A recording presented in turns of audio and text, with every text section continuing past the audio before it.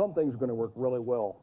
Some things maybe not. We'll find out in the process. Mayor Steve Bach proposed 2013 budget includes seven key community benefits. The first two on his list to restore evening bus service and turn back on the city's remaining 3,500 streetlights. A lot of people depend on our bus system uh, to get to work, to get to school, to go to the doctor. I'm very thankful we can bring back evening bus service next year. We will be concurrently uh, doing a long-range plan on how to best distribute our streetlights so that we don't have too much light in some locations and not enough in others.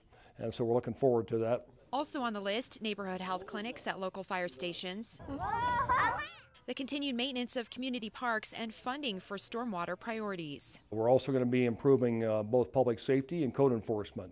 We've authorized the police department uh, to spend more money to um, overhire so that it can get its uh, strength up to authorized level, and the same with the fire department. The final key benefit funding for capital improvement projects, including streets, roads, and bridges. We will rebuild. And if you're wondering about the Waldo Canyon fire and its effect on the city's budget, Bach says we're out of pocket some money. We had to front all the extra costs, and the federal government is reimbursing us for some of those. Uh, so, yes, we will have an impact from Waldo Canyon Fire, but we are absorbing that in the existing budget.